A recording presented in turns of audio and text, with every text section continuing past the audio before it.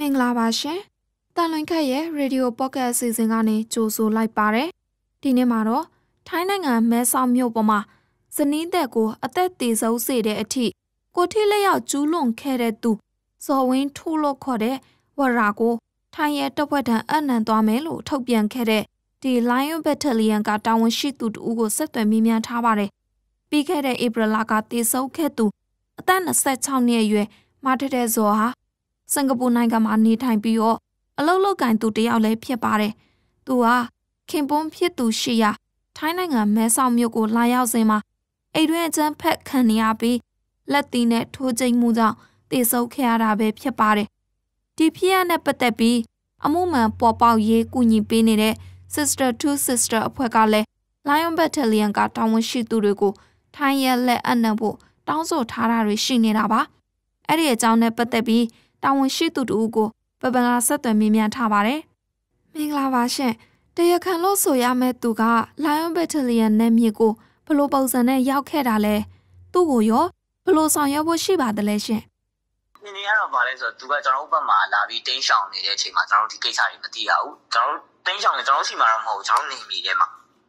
နေမီထဲမှာတင်းရှောင်တဲ့အချိန်မှာကျွန်တော်တို့ကတရင်ကျွန်တော်စီကိုတရင်ရောက်တဲ့အချိန်ပေါ့နော်တရင်ရောက်တဲ့အချိန်ကမနက်7:00နာရီ မနက်7:00နာရီဆိုတော့ကျွန်တော်ရင်းရချင်းလိုက်သွားတယ်သူရှိနိုင်တဲ့နေရာလေးလိုက်သွားတဲ့အခါမှာအဲဖုန်းကြောင်းကြောင်းမှာသူတင်ကန်းစီးနေလို့သိရတယ်သူတင်ကန်းစီးပြီးတော့သူ9နာရီလောက်မှာသူအဲ့ကနေတခါတယောက်စီကြွသွားမယ်ဆိုပြီးကြွသွားတယ်အဲ့အဲ့ကနေပြီးတော့သူ့ကျွန်တော်ပြန်ပြီးတော့လိုက်ဖမ်းရတာပေါ့လိုက်ဖမ်းတဲ့အနေထားမှာတော့ဟိုသူနဲ့ကျွန်တော်နဲ့အဆက်အသွယ်ရတယ်ရတော့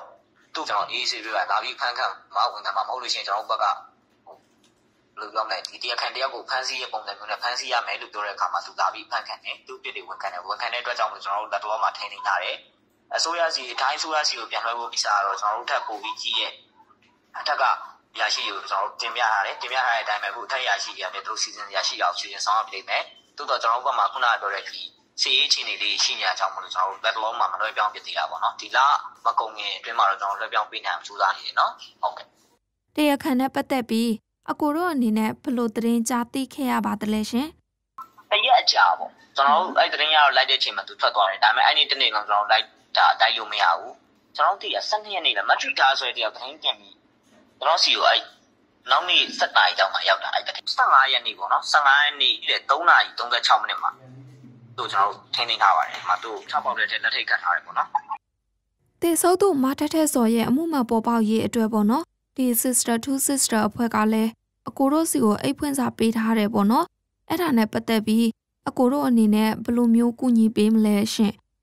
ကျွန်တော်ကဒီဘက်မှာ internet line တွေပြတ်နေတော့ဒီကိစ္စတွေအိတ်ဖွင့်စာပေးထားရင်ပါတခုမှမသိဘူးဖြစ်နေတာအဲဒါကြောင့်နောက်တစ်ခုကဒီတရားခံနဲ့ပတ်သက်ပြီးတော့ကကျွန်တော်တို့ကလွှဲပြောင်းမှုအစီအစဉ်ရှိပါတယ် level ထိန်းသိမ်းထားတယ်သို့တော့ကျွန်တော်တို့မှာဒီမှာဒီဘက်ချမ်းမှာကျွန်တော်တို့ကိစ္စတွေရမ်းများနေတဲ့ဟာတွေရှိတယ်ပေါ့နော်စေးရရန်သူဘက်ကပြင်ဆင်လာတဲ့ပုံစံတွေဒါတွေကြောင့်ကျွန်တော်တို့မှာလက်တလောအဲ့ဒီကိစ္စကိုဟိုမလုံနိုင်ဘူးဖြစ်နေတာအဲ့ဒါတော့နားလည်ပေးစေချင်ပါတယ်ဒီလိုလုံးဒါကျွန်တော်ဘက်ကအရင်ပြောစရာရှိတာပေါ့နော် နောက်တော့ကျွန်တော်ဘက်ကဒါကိုထိုင်းမှာဖြစ်ခဲ့တဲ့အမှုဖြစ်တဲ့အတွက်ကြောင့်ကျွန်တော်တို့ကျွန်တော်နယ်မြေဘက်ကိုရောက်လာတဲ့အတွက်ကျွန်တော်တို့ကထိန်းသိမ်းပေးထားတယ်ဖန်ဆီးပေးထားတယ်ပြီးရင်သက်ဆိုင်အောင်ပြီးလို့ရှိရင်ကျွန်တော်ဒီ page ကနေလည်းပြန်ပြီးတော့ဟိုသတင်းပြန်တင်ပေးပါမြင်းမြမှုကိုဖြည့်ချပေးတဲ့အတွက်ကျေးဇူးတင်ပါတယ်ရှင်